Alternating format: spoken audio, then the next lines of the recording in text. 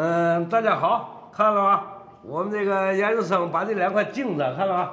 就在这里磨出来了，看看这这样，原先呢，那那那那都是砂眼呐，这个倒的活倒的真的不太好。我们又拿砂带机是又拿手机磨了，好像两天了吧？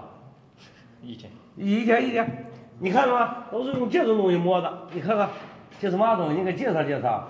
这就是网上买的那个研磨膏，它里面应该带那个金刚砂金。啊，就拿这个磨的，看了这个也是那么做，看了磨完了，你看，啊，这个，看这小镜子磨的，你看看多漂亮，你瞅瞅，这玩意儿能拿手摸吗？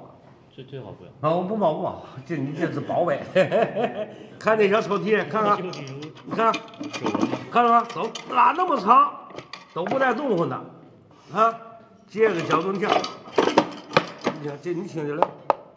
哎，老硬开了，摸吧，你叫大伙儿你给摸一下，叫大伙儿看看怎么摸的。你乐嘛呀？就那么一点点摸出来的。打磨。对，回来之后。这个涂，磨完之后，然后真不对对对，意思就是那么个意思。这个好像要是真出土文物来了，咱咱这工坊买咱那个砂工坊可能，这这这行，这不错，挺好的。这就是。呃，磨那么些天，明后把这点接好，嗯，就完了，好不好？这都是他做的，可能也不用介绍了，我这是我那徒弟，研究生的徒弟。好，回家跟大伙打个招呼。嗯，大家好，现在啊，我这徒弟，这是，这是算做完了，大伙看看这个活，看了吗？嗯，应该刚打完蜡，嗯，叫他在，你这两面没打吧？都打完了，就剩这两面，因为嘛呢，好些。要问问这个打蜡是怎么回事儿？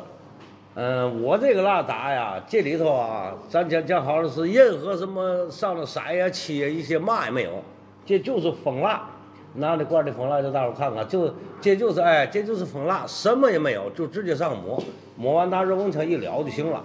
有人问我打嘛蜡，我就告诉就这蜡，省得这老问了。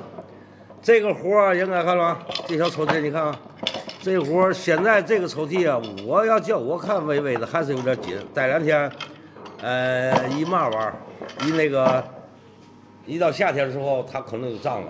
它这个小棍儿啊，是仿王香那个那那个小棍儿，但是王香那个呢，前面有俩门儿，它这个就没俩门儿。再说它改进了，我老觉得应该不错。因为王香那个，这肯定不是三凤间，不是三。对，它不是三凤间，这个三凤间的活儿，闷水三凤间那么点小料能做出来这个活儿。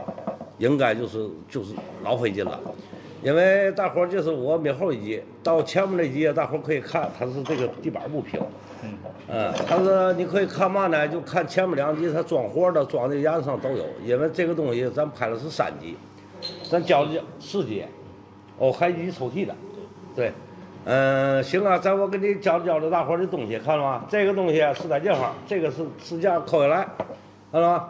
这个是在这插上。这个活就是就是那么个活这么个活呢，呃，这抽屉了，这里头还块镜子，他这个孩子自己买的，嗯，这个镜子是哪儿啊？是哪个朝代的？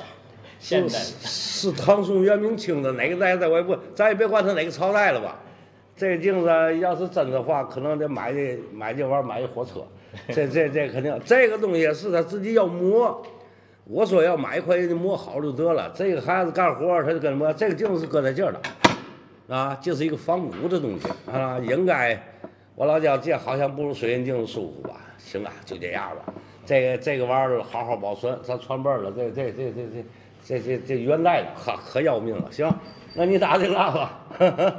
来了，咱咱咱看看这个小抽屉呀，这些活上帝我教的了。你看看这抽屉做的，嗯，咱打你的。看了啊？嗯，上集我已经说完了，这里头就不用粘蜡了，粘了蜡也没嘛必要。嗯，这个活应该还还就算行吧。哪个小抽屉出来看看？这个抽屉是就是碰头的，上集我教的了。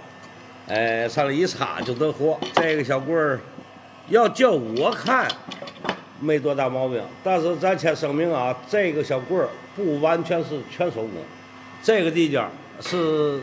他拿机器做出来的，是吧？这个花也是拿机器做出来的。说真的，拿手真的没有没有这本事。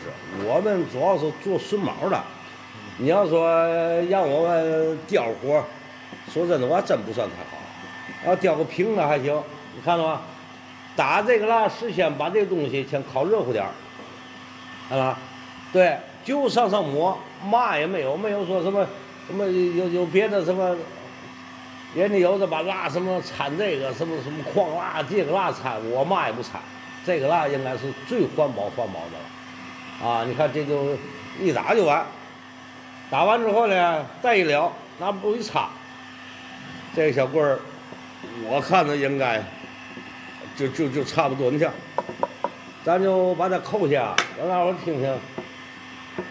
这个云听，你听着，没有一点儿，呀，没有点空的那个盖件，哪哈都实着呢。你看这不？说真的，做出活来实活久病，但是这个活儿，我挑毛病都吃力，呃，我不管别人了就。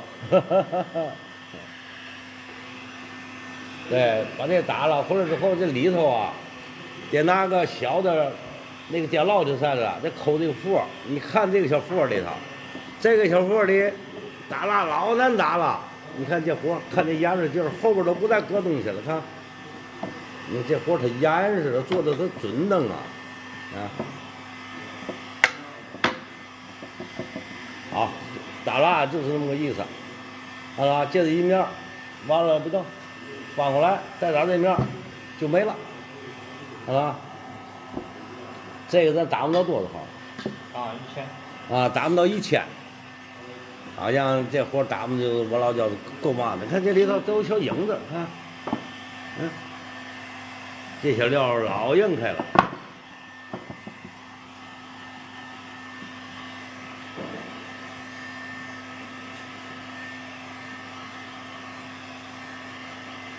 我这个徒弟啊，是研究生上了一半儿。你不上学了？说真的，这孩子这个选择呀，头开始我真的不老赞成的。因为来说他父亲来了，说这个事儿。现在的父亲、爹妈呢，能拧过儿子的不多。但是这孩子别说，确确实实应该做的活就算是不错。你一般的人，说真的，真比不了这个活。你就是给你机器，你也未必能做到这种东西，看到吗？这个抽屉讲的绝看拉出那么长的不脏了。你有那抽屉，看了这么长，照样挂着不动，看到了？你要是如果一般的抽屉，你这这还倒劲儿，这这这哗啦就下来了。看这抽屉，拉出那么长，看，而且这抽屉里头没有任何的东西，看了，全是木头的抽屉溜子。所以说，应该这活儿。不是我自己夸徒弟啊，我跟你说的，这活儿不是夸，就是那么那么那么个。好，回来拿干布一擦。嗯，对，看了啊，就这样打完之后，叫他吃吃，或者看了，拿干布一捏，斧头拉就吃进去了。我再跟大伙说说这将来这个东西保养，这个保养啊，将来就是炸几个核桃，把核桃叶拿出来。完了之后呢，搁个布里头，拿干布给它干了。干完之后呢，它等出来了油，拿核桃油上擦，这个东西越保养越好，早早就出包浆了。尽量的别去买那个十块钱一瓶的那个核桃油，那个核桃油应该搁完之后它起白毛。嗯，按正理说，你得多个核桃才出那么些油？十块钱买的你未必是真的。所以说，你最好的还就是直接上核桃。行，这面打完就这样了，反正好，跟大伙打个招呼完了，意思就都那么意思。这个你看了吗？杨生，你把这打开，叫他们看看，一模一样的东西，把抽屉放了，看看，都是一模一样的东西，哪块都不带有问题的，啊，对，哪个对哪个有号吗？我天，